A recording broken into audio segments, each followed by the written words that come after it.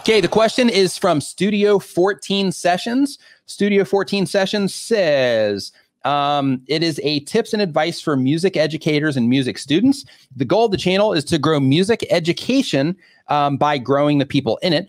And the question is, I did the keyword research to identify the best keywords for my videos. Can, can you please explain how to actually place them in your title? Does it matter where they are? Okay, that's a fantastic question, and I'm glad that you asked. Okay, so when it comes to your keywords and where you need to put them in your in your titles, um, a few things I want you to think about. So when it comes to ranking videos in search, you have to get people to click on what it is that you're doing. So trying to think how to explain this out. Okay, so when it comes to getting people to, to to or when it comes to maintaining a ranking in search, people have to click on what it is that you're doing and watch it. But the watch part has nothing to do with the actual placement of the keywords, but getting them to click does. So what you want to think about is your keyword is definitely giving YouTube context to what your video is about. Okay. So that is a win to actually have your keyword or your keyword phrase so that they, their system can have context that that is what your video is about.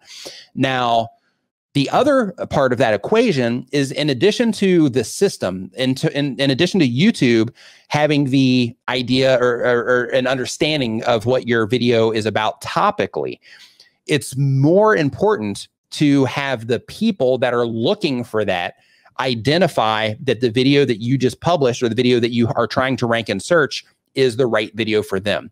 So because of that, when it comes to your keywords, you want to put them as close to the front of the title as possible if you are targeting an English speaking audience. And the reason for that is because in English, we read from left to right. So when you are trying to grab somebody's attention, you want the thing that they are searching for to be one of the first things that they see.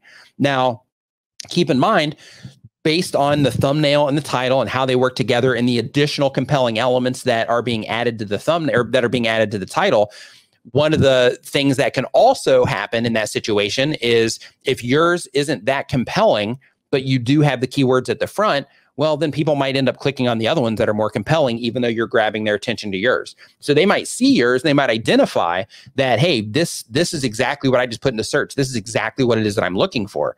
But then there's these other videos, these five other videos on the screen, um, or 10, or if you start scrolling, there's even more. But there's these other videos on the screen that might have the same exact keyword phrase that you have, or this, be targeting the same exact keyword.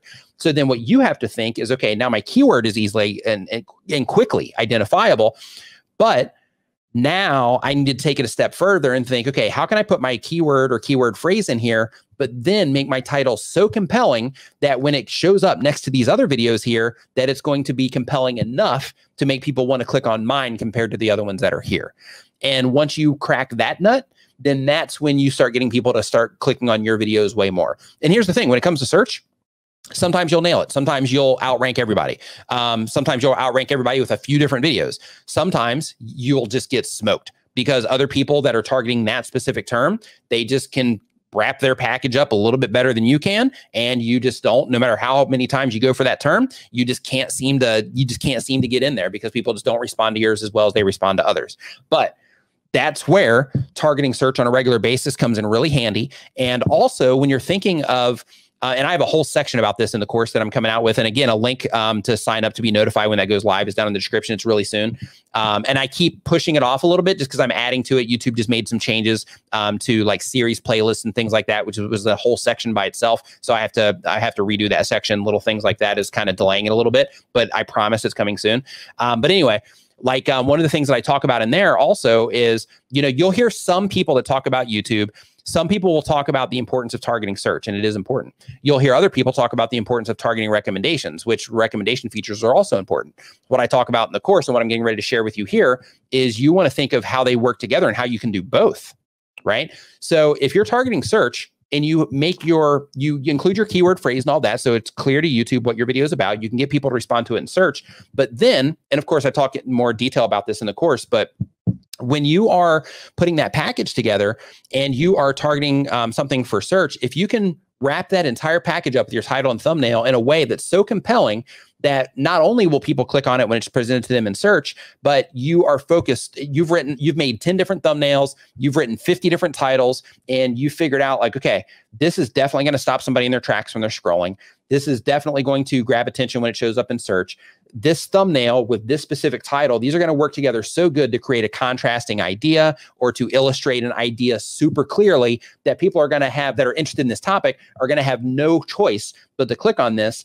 When you do that and you wrap that package up because you include your keyword or keyword phrase, but then you add something that's so compelling to the title and or the thumbnail, then what you do in that situation, you give yourself the opportunity to rank in well in search, but then you also give yourself the chance to double or triple dip into browse features and other recommendation features as well so that anywhere you show up on the platform you end up winning the click. Maybe not every time but you end up winning the click at a high rate because the way that you're packaging up your content is very well targeted and it's also very compelling which then causes you to be effective everywhere your content shows up for whatever type of content it is that you make so that's the approach that you want to take when it comes to when it comes to you know packaging your content up when it comes to you know targeting search is when you're targeting search, that's one way to get traffic. And it's, I can't even put into words how effective it is, super effective.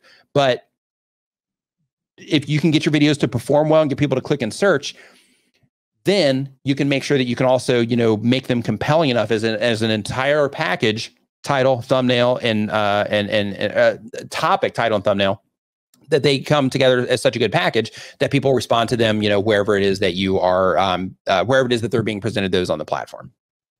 So then in that case, you're going for discovery. You're not just going for ranking. You're going for just full brute force discovery at that at that point in time. Because you're not just saying hey i'm just targeting search um, which you you know i mean you can. You want to you know know where it is that your primary is.